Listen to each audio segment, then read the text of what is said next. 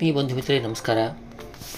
ಸರ್ವಮಂಗಲ ಮಾಂಗಲ್ಯ ಶಿವೇ ಸರ್ವಾರ್ಥ ಸಾಧಿಕೆ ಶರಣ್ಯೇ ಎಂಬಗೆ ಗೌರಿ ನಾರಾಯಣಿ ನಮಸ್ತೆ. ಬಂಧುಗಳೇ, ಇಂದು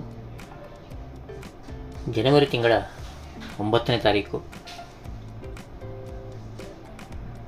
ಮಂಗಳವಾರ ತ್ರಯೋದಶಿ ತಿಥಿ. ಇಂದಿನ ಸೂರ್ಯೋದಯ ಆರು ಗಂಟೆ ನಲವತ್ತ್ನಾಲ್ಕು ನಿಮಿಷಕ್ಕೆ ಸೂರ್ಯಾಸ್ತ ಆರು ಗಂಟೆ ಒಂಬತ್ತು ನಿಮಿಷಕ್ಕೆ. ಇನ್ನು ರಾಹುಕಾಲ ಮಧ್ಯಾಹ್ನ ಮೂರು ಗಂಟೆ ಹದಿನೆಂಟು ನಿಮಿಷದಿಂದ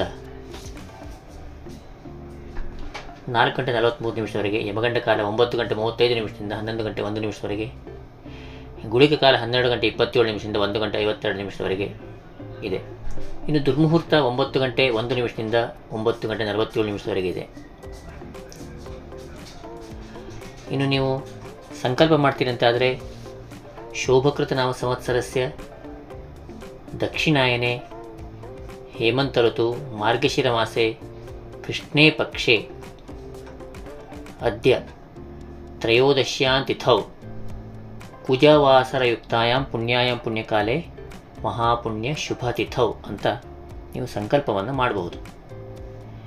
ಇನ್ನು ದ್ವಾದಶ ರಾಶಿಗಳ ಗೋಚಾರ ಫಲದ ಬಗ್ಗೆ ಗಮನಹರಿಸೋಣ.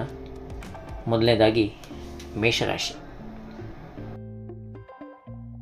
ಮೇಷರಾಶಿಯವರು ಜವಾಬ್ದಾರಿಯನ್ನು ಸ್ವೀಕರಿಸುವ ಮೊದಲು ಅದನ್ನು ನಿಭಾಯಿಸುವ ಬಗ್ಗೆ ಯೋಚಿಸಿ. ಪ್ರಭಾವಿ ವ್ಯಕ್ತಿಗಳ ಜೊತೆಗಿನ ಒಡನಾಟ ಮತ್ತು ಓಡಾಟ ಹೆಚ್ಚಿನ ಸ್ಥಾನಮಾನವನ್ನು ನಿಮಗೆ ತಂದುಕೊಡಲಿದೆ. ಚಿನ್ನದ ವ್ಯಾಪಾರಿಗಳಿಗೆ ಇಂದು ಉತ್ತಮ ಲಾಭವಾಗಲಿದೆ. ಅಡಿಕೆ ಬೆಳೆಗಾರರಿಗೆ ಉತ್ತಮ ಲಾಭದಲ್ಲಿದೆ ಮುಂದಿನ ರಾಶಿ, ವೃಷಭ ರಾಶಿ. ಈ ದಿನ ಎಂಥ ಅನಿವಾರ್ಯ ಪರಿಸ್ಥಿತಿಗೂ ಯಾರಿಗೂ ಸಾಲ ಕೊಡದಿಲ್ಲೋ ನಿಶ್ಚಯಿಸುವುದು ಉತ್ತಮ. ನಿಮ್ಮ ಕೆಲಸಕ್ಕೆ ಸೋಮಾರಿತನ ಅಥವಾ ಸಮಯದ ಅಭಾವ ಎದುರಾಗುತ್ತದೆ. ತಾಯಿಯವರ ಆರೋಗ್ಯದಲ್ಲಿ ಸ್ವಲ್ಪ ಮಟ್ಟಿನ ಚೇತರಿಕೆ ಕಾಣುತ್ತದೆ. ಎಲ್ಲರಿಗೂ ಒಳ್ಳೆಯದಾಗಲಿದೆ. ಮುಂದಿನ ರಾಶಿ ಮಿಥುನ ರಾಶಿ. ಆಸ್ತಿಯ ವಿಷಯಕ್ಕೆ ಸಂಬಂಧಿಸಿದಂತೆ ತಾಳ್ಮೆಯಿಂದ ಕೆಲಸ ನಿರ್ವಹಿಸಬೇಕಾಗಬಹುದು. ಅಣ್ಣ ಅಥವಾ ತಮ್ಮಂದಿರಲ್ಲಿ ಸಣ್ಣ ಪುಟ್ಟ ವ್ಯಾಜ್ಯ ನಡೆಯುವ ಸಾಧ್ಯತೆ ಕಾಣ್ತಾ ಇದೆ. ಧೈರ್ಯ ಮಾಡಿ ಕಾರ್ಯೋನ್ಮುಖರಾದರೆ ಅಭಿವೃದ್ಧಿಯನ್ನು ಹೊಂದಿರಿ. ಪ್ರಯತ್ನಕ್ಕಿಂತ ಮಿಗಿಲಾದ ಧನಾದಾಯ ನಿಮಗಿಂದು ಕಾಣ್ತಾ ಇದೆ. ಮುಂದಿನ ರಾಶಿ, ಕರ್ಕಾಟಕ ರಾಶಿ. ಸಂತೋಷಕ್ಕೆ ನಿಮ್ಮ ಹತ್ತಿರದವರಿಂದ ತಡೆ ಉಂಟಾಗಬಹುದು. ಹೊಸ ಜನರ ಸಂಪರ್ಕವನ್ನು ಮಾಡಿಕೊಳ್ಳುವ ಅಭ್ಯಾಸ ರೂಢಿಸಿಕೊಳ್ಳಿ. ಶ್ರೀರಾಮನಾಮ ಭಜನೆಯಿಂದ ಕಾರ್ಯಗಳ ಅಭಿವೃದ್ಧಿಯಾಗಬಹುದು. ಮುಂದಿನ ರಾಶಿ ಸಿಂಹರಾಶಿ ದುರಭ್ಯಾಸಗಳಿಗೆ ಒಳಗಾದಂತೆ, ಒಳಗಾಗದಂತೆ ಮನಸ್ಸನ್ನು ಸ್ಥಿಮಿತದಲ್ಲಿಟ್ಟುಕೊಳ್ಳಿ. ಉಳಿತಾಯದ ಹಣದ ಹೊಂದಾಣಿಕೆಯಿಂದ ಸಾಲ ಮಾಡುವ ಪರಿಸ್ಥಿತಿ ದೂರಾಗಬಹುದು. ವ್ಯವಹಾರದಲ್ಲಿ ಪೈಪೋಟಿ ಹೆಚ್ಚಲಿದೆ. ಷೇರು ಮಾರುಕಟ್ಟೆಯಲ್ಲಿ ಹೂಡಿಕೆ ಮಾಡುವಾಗ ಇಂದು ಸ್ವಲ್ಪ ಎಚ್ಚರಿಕೆಯಿಂದ ಹೂಡಿಕೆ ಮಾಡಿ. ಇನ್ನು ಮುಂದಿನ ರಾಶಿ, ಕನ್ಯಾ ರಾಶಿ. ದಾಂಪತ್ಯದಲ್ಲಿ ಸಣ್ಣ ಪುಟ್ಟ ವಿಚಾರಗಳಿಂದ ಮಾನಸಿಕ ಅಸಮಾಧಾನ ಕಾಡಲಿದೆ. ಒಳಾಂಗಣ ವಿನ್ಯಾಸಕಾರರಿಗೆ ಬೇಡಿಕೆ ಇರುವುದು. ಎಲೆಕ್ಟ್ರಾನಿಕ್ ಉಪಕರಣಗಳ ಮೇಲೆ ಹೆಚ್ಚಿನ ಬಂಡವಾಳ ಹೂಡಬಹುದು.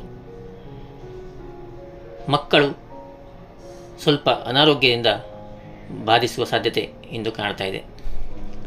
ಮುಂದಿನ ರಾಶಿ ತುಲಾರಾಶಿ ಶ್ರಮವಿಲ್ಲದೆ ಕೆಲಸ ದೊರೆತಿದ್ದಕ್ಕೆ ಸಂತಸವಿದ್ದು ಹೊಸ ಸಂಸ್ಥೆಯಲ್ಲಿನ ಕೆಲಸಗಳು ಸುಲಭ ಹಾಗೂ ಸಂತೋಷಮಯ ಎನಿಸುವುದು. ಕೆಲವೊಂದು ಬದಲಾವಣೆಗಳನ್ನು ರೂಢಿಸಿಕೊಳ್ಳಬೇಕಾಗುತ್ತದೆ. ಗುರುವಿನ ಆರಾಧನೆ ಮಾಡುವುದು ಉತ್ತಮ. ಮುಂದಿನ ರಾಶಿ, ವೃಶ್ಚಿಕ ರಾಶಿ. ಕಷ್ಟ ಪರಿಸ್ಥಿತಿಯಲ್ಲಿ ಜನಬಲದ ಕೊರತೆಯಾದರೂ ಸಕಾಲಕ್ಕೆ ಸ್ನೇಹಿತರಿಂದ ಹಣದ ಸಹಾಯ ಸಿಗಲಿದೆ. ಸರ್ಕಾರದ ಕಾಂಟ್ರಾಕ್ಟ್ ಕೆಲಸ ದೊರೆತು ಸಂತೋಷವಾಗಬಹುದು. ಉತ್ತಮ ಫಲಿತಾಂಶ ಇದರಿಂದ ನಿಮಗೆ ಬರಬಹುದು.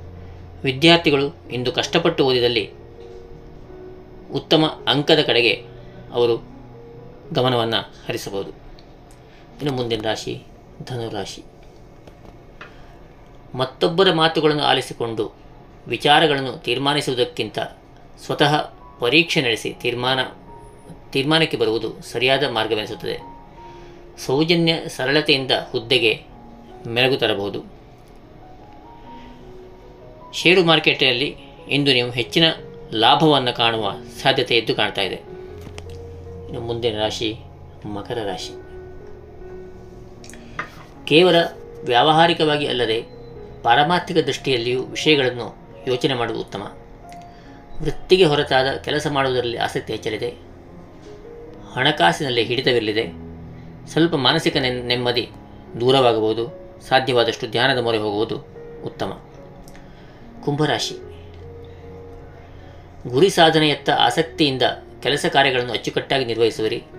ಹೆಚ್ಚಿನ ಪ್ರಯತ್ನಗಳಿಂದ ಉತ್ತಮ ಉದ್ಯೋಗವನ್ನು ಗಳಿಸಿಕೊಳ್ಳಬಹುದು. ಕಿರು ಪ್ರವಾಸದ ಮಾತು ಬರಲಿದೆ. ಸ್ನೇಹಿತರೊಂದಿಗೆ ಚಿಕ್ಕ ಪ್ರವಾಸವನ್ನು ಕೈಗೊಳ್ಳುವ ಸಾಧ್ಯತೆ ಎದ್ದು ಕಾಣ್ತಾ ಇದೆ. ಇನ್ನು ಮುಂದಿನ ಹಾಗೂ ಕೊನೆಯ ರಾಶಿ ಮೀನರಾಶಿ. ಲೆಕ್ಕಾಚಾರದ ಜವಾಬ್ದಾರಿಯನ್ನು ಹೊತ್ತಿರುವವರು ಈ ದಿನ ಹೆಚ್ಚಿನ ಗಮನದಿಂದ ಕೆಲಸ ನಿರ್ವಹಿಸಿ. ಇಲ್ಲವಾದಲ್ಲಿ ಸಮಸ್ಯೆಗೆ ಸಿಲುಕುವಂತಾಗುವುದು. ಕಬ್ಬಿಣದ ವ್ಯವಹಾರದ ನಿರ್ವಹಣೆಗೆ ಸಾಲ ಮಾಡಬೇಕಾಗುತ್ತದೆ. ಮನೆಯಲ್ಲಿ ಹೆಂಡತಿಯ ಮಾತನ್ನು ಹೆಚ್ಚಾಗಿ ಕೇಳಿ ಅಥವಾ ಸ್ತ್ರೀಯರಾದರೆ ಪುರುಷರ ಮಾತನ್ನು ಕೇಳಿ ವ್ಯವಹಾರಕ್ಕೆ ತೊಡಗುವುದು ಉತ್ತಮ. ಇವಿಷ್ಟು ದ್ವಾದಶ ರಾಶಿಗಳ ಗೋಚಾರ ಫಲ. ಇನ್ನು ಇಂದಿನ ಸುಭಾಷಿತದ ಬಗ್ಗೆ ಗಮನಹರಿಸಿ ಈ ವಿಡಿಯೋವನ್ನು ಎಂಡ್ ಮಾಡ್ತೀನಿ. ಪದಾನೇನ ಸರ್ವೇ ತುಷ್ಟಂತಿ ಜಂತವಃ ತಸ್ಮಾತ್ ತದೇವ ವ್ಯಕ್ತವ್ಯಂ ವಚನೇಕ ದರಿದ್ರತ.